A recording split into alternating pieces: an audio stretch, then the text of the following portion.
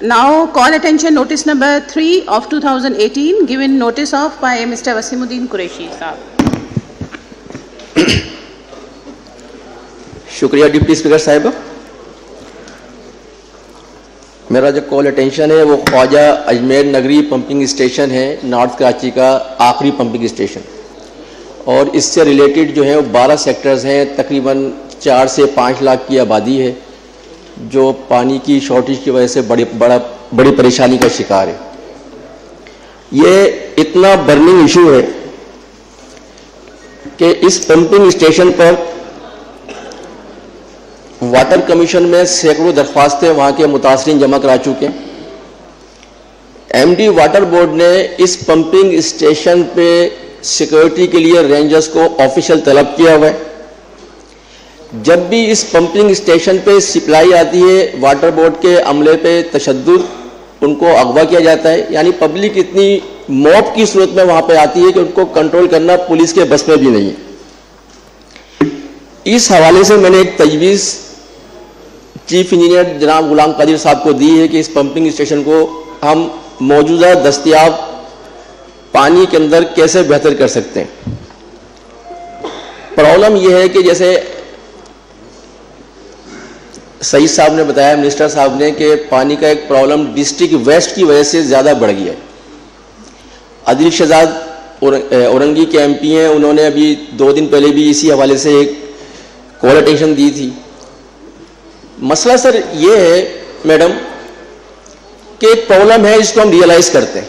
بالکل پرابلم ہے کہ ہب ڈیم ڈرائی ہو گیا ہے اور جب تک اس میں اللہ کی طرف سے بارش نہیں ہوگی وہ ڈیم بھرے گا نہیں تو ویسٹ کا جو ڈیزائن ہے، وہ ڈسٹرکٹ ویسٹ کا جو ہے، وہ ہب ڈیم سے ہنڈریڈ ایم جی ڈی کا ہے۔ ابھی منسٹر صاحب نے فرمایا کہ اب ہم ڈسٹرکٹ ویسٹ کو جو پانی پرووائڈ کر رہے ہیں، وہ اینی کے پمپنگ اسٹیشن ہے سفورا گوڈ پہ، وہاں سے مختلف علاقوں سے پانی کاٹ کے اس کو پرووائڈ کر رہے ہیں۔ تو میں تھوڑا سا یہ تصحیح کر دوں کہ اینیکے سے جو ڈسٹرکٹ ویسٹ کو پانی پرووائڈ کیا جا رہا ہے، وہ مختلف علاقوں سے نہیں، صرف نارتھ کراچی کا پانی جو ہے وہ روک کے، یہ گریجولی پہلے پانچ دن کے گیپ پہ تھا، آٹھ دن کے گیپ پر آیا اور ریسنٹلی اب یہ پندرہ سے بیس دن کے گیپ پر آ گیا۔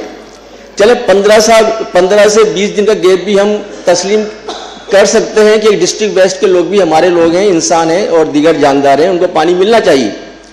پرابلم یہ ہے کہ پندرہ دن کے بعد بھی جو پانی آتا ہے، اس پانی کے اندر بھی اتنے لیولز بن جاتے ہیں کہ اگر دو گھنٹے پانی آ رہا ہے تو آٹھ گھنٹے پانی غائب۔ تو جس کی وجہ سے کسی بھی ایک سیکٹر کو پانی مکمل طور پہ نہیں مل پاتا۔ اور اس کی وجہ سے پبلک جو ہے وہ روڈز پہ آتی ہے اور پمپنگ اسٹیشن سے گھراؤ کرتی ہے۔ اس حوالے سے ایم ڈی واٹر بورڈ سمیت کنسرن تمام افسران کو متعدد مرتبہ بتا بھی چکے ہیں میٹنگ بھی کر چکے ہیں۔ ہم تو صرف یہ ریکویسٹ کر رہے ہیں کہ جو ہنڈریڈ ایم جی ڈی کا یا sixty five M G D کا جو بھی منصوبہ ہے، وہ اس پہ کام ہو رہا ہے۔ لیکن میں یہ بار بار کہہ رہا ہوں کہ جو دستیاب پانی ہے، جو آپ کے ان ہینڈ پانی ہے، اس کی تو جو ہے وہ صورتحال بہتر بنائیے۔ اس وقت واٹر بورڈ کے افسران کا مورال ڈاؤن ہو چکا ہے اور میں یقین سے کہہ سکتا ہوں کہ اگر واٹر بورڈ کے افسران کو یہ کہا جائے کہ کہا جائے کہ آپ کو اگر چھٹی چاہیے، تو سکسٹی سے سیونٹی پرسینٹ افراد چھٹی پہ چلے جائیں گے۔ کوشش نہیں کر رہے وہ کہ دستیاب پانی کی ڈسٹریبیوشن کو بہتر کر سکیں۔ تو میری وزیر بلدیات سعید صاحب سے درخواست ہے اور ان سے بڑی توقعات اس لیے وابستہ ہیں کہ یہ اپنے جاب میں سنسیریٹی سے کام کرتے ہیں، چیزوں کو فالو اپ لیتے ہیں۔ تو میری ان سے درخواست تھی کہ جو دستیاب پانی ہے، اس میں جو واٹر بورڈ کے افسران ہیں، ان کو بٹھا کے اور جو متاثرہ علاقے کے ایم پی ایز ہیں، ایک میٹنگ کرائی جائے تاکہ اس کا جب تک کہ وہ ہمارا پروجیکٹ مکمل نہیں ہوتا، تو اس دستیاب پانی میں ہم اس کو گزارا کر سکیں۔ دیکھیں ابھی ایک آخری الفاظ۔ دیکھیں ابھی سردی کا موسم ہے، موسم تھوڑا سا ٹھنڈا ہونا شروع ہوا ہے۔ تو ابھی وہ پریشر عوام کا دبا ہوا ہے۔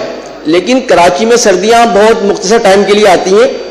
اور جیسے یہ موسم گرم ہونا شروع ہوگا آپ اندازہ نہیں کر سکتے کہ اس شہر کے اندر پانی کے اوپر لسانی فسادات بھی ہو سکتے لوگ ایک دوسرے کے دست و گربا بھی ہو سکتے ہیں اور اس ٹائپ اس صورتحال کو کنٹرول کرنا کسی کے بس میں نہیں ہوگا۔ بہت بہت شکریہ۔ بہت شکریہ۔ جی منسٹر صاحب۔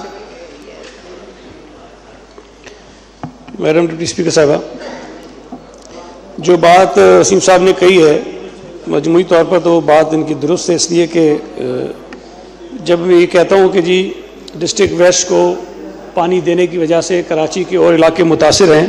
تو یہ بالکل ٹھیک کہہ رہے ہیں کہ سب سے زیادہ متاثر جو علاقہ ہے وہ یہ ہے، خواجہ اجمیر نگری ہے، نارتھ کراچی ہے۔ سائٹ ٹاؤن کا کچھ تھوڑا سا علاقہ ہے جن کو پانی، یہ خواجہ اجمیر نگری کی پمپنگ اسٹیشن سے ملتا تھا۔ لیکن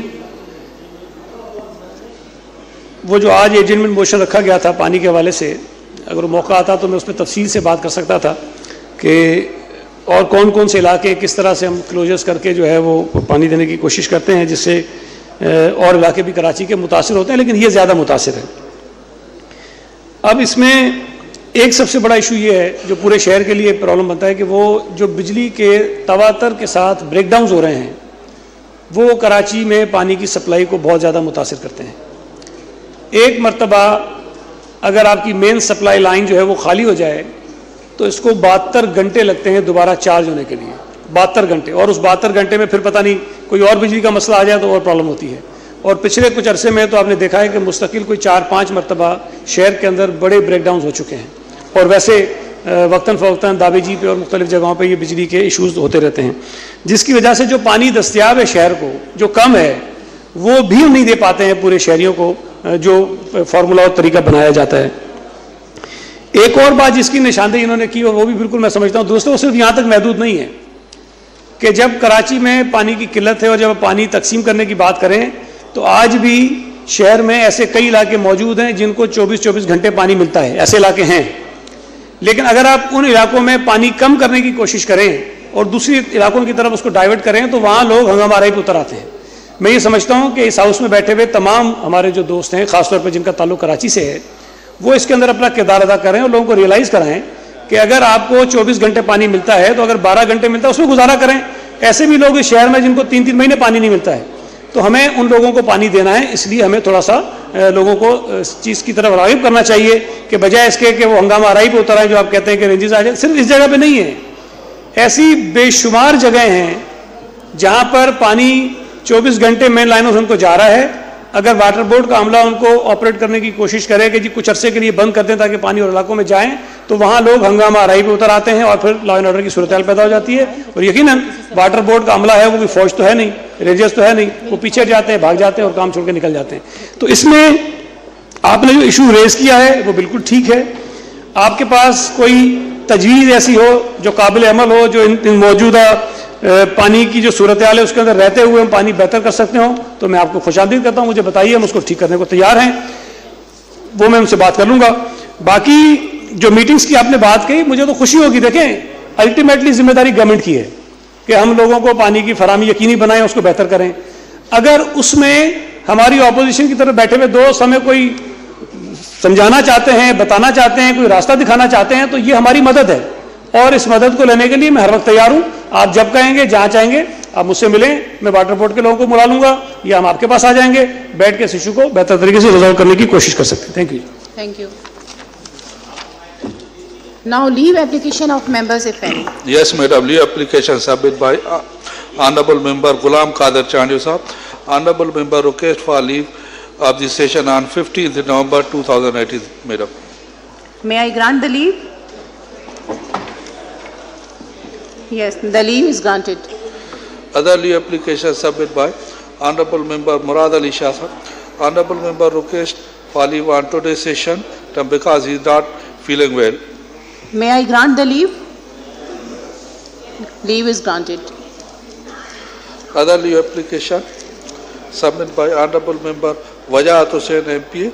Honorable Member request for leave of the session because he is not feeling well, Madam. May I grant the leave?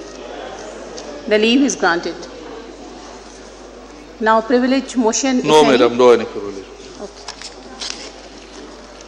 Now discussion on adjourn- adjournment.